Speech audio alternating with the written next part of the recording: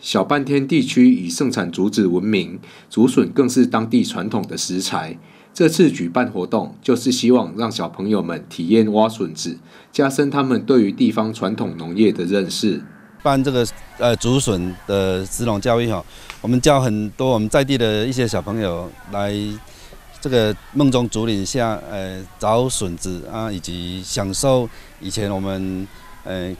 先人哈所留下来的一些传统技艺，这样子，让他们知道说，呃，梦中竹的生长的环境以及它的这一个产物哈，呃，对我们呃这个竹林社区哈，以及我们小半年整个区域哈，它的发展性啊，以及历史的严格这样子，对。因为有农民用心的耕作，才有这么多美味的食材。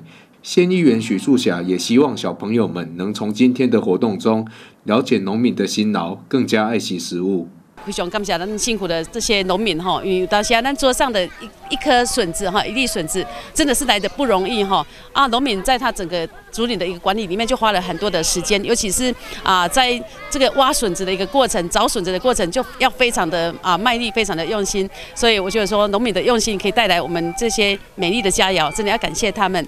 看到今天这么多小朋友参与活动，县议员吴瑞芳表示。许多小朋友爱吃笋子，却不知道笋子是怎么取得。希望他们透过今天的活动，了解地方农业文化。他们今天啊，带领这些小朋友，文昌国小小朋友哈，来这边体验怎么来挖笋哈。呃，笋呢是很好吃，大家都很喜欢吃哈。啊，不知道这个过程，他们的管理过程哈。啊，今天大家小朋友来体验哈，呃，能够大家能够挖得很快乐哈，很快活。议长何胜峰期许透过活动，加深小朋友对于地方农业文化的认识，使他们了解农民的辛劳，更加珍惜食物。记者卢宇凯、陆谷乡采访报道。